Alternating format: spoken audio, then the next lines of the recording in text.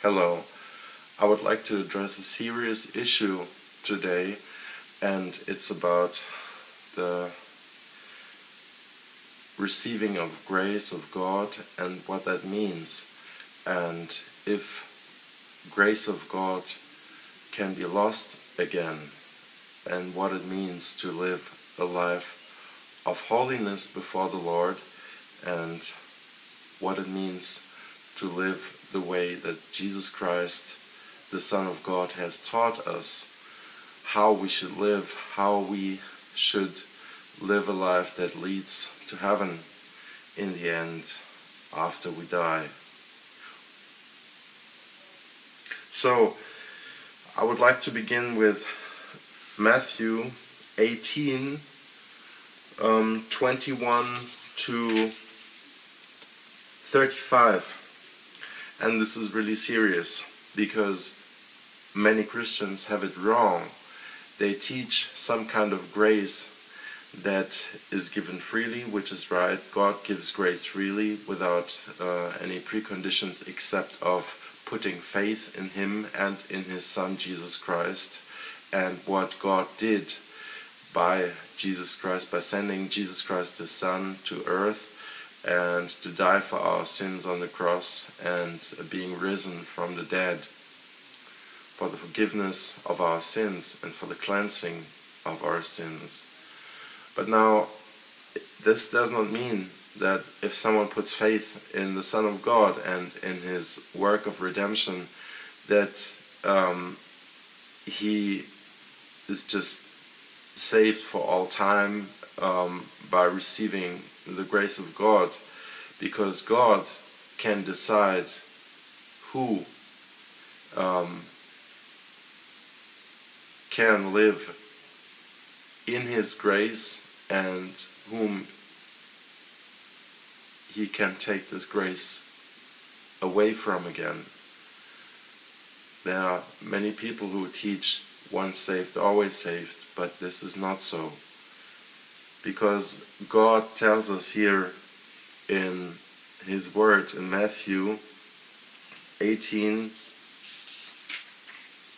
21 to 35 through His Son Jesus Christ the certain uh, the following parable of the unmerciful servant and I would like you to listen to this because this is really serious. This is a really serious matter and it could be very um, could be very negative for you if you get this wrong and if your theology is a wrong theology of a false security that you live in and that you believe in which is not the case. I read the parable then Peter came to Jesus and asked, Lord, how many times shall I forgive my brother or sister who sins against me?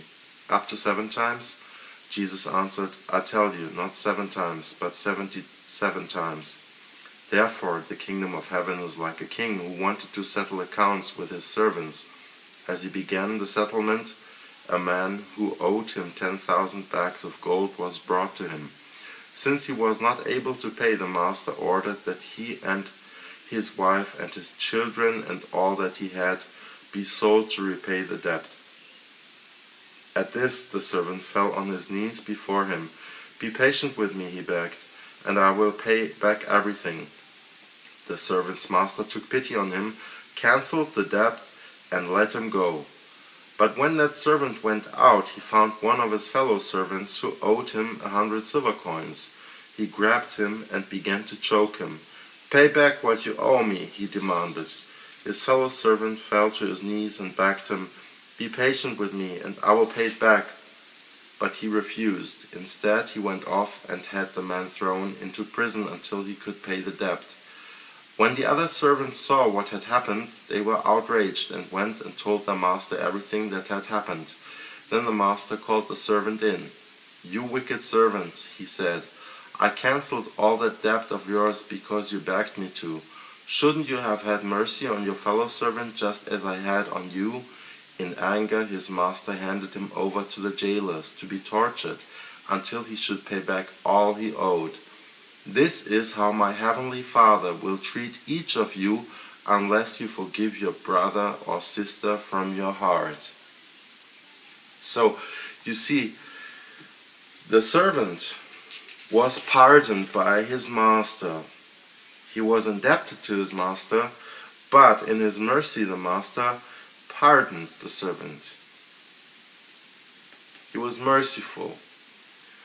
But then later on, the servant of the servant came, and this servant of the master was not merciful with this servant, but he demanded everything to be paid back to him that he owed him.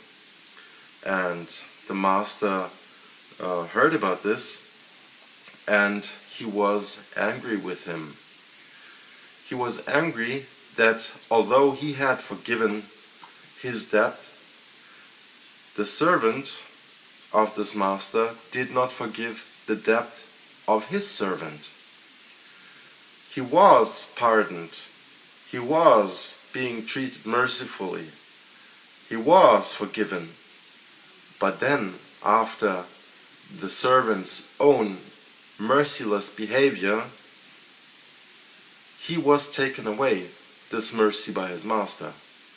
And the master punished the servant and demanded everything to be paid back as he, the servant of the master, had demanded his servant to pay everything back to him. So the mercy was taken away from him. Equally, God can take his grace away from a person that was forgiven of his or her sins by the blood of Jesus Christ. When this person does not follow the commandments of God that were given through his Son Jesus Christ. And especially when people do not show love, when people do not act in love, when people do not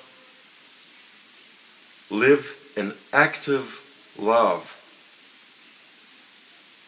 And faith is active by active love, by doing the commandments of God that He had given through His Son Jesus Christ, and not simply by speaking words or speaking uh, the words of the Bible, but to do the words of the Bible and to live a merciful life because God can take away His grace that He has given freely without any preconditions except faith that is even um, a gift of God to the believer, but He can equally take away this gift if a believer does not live a fruitful life.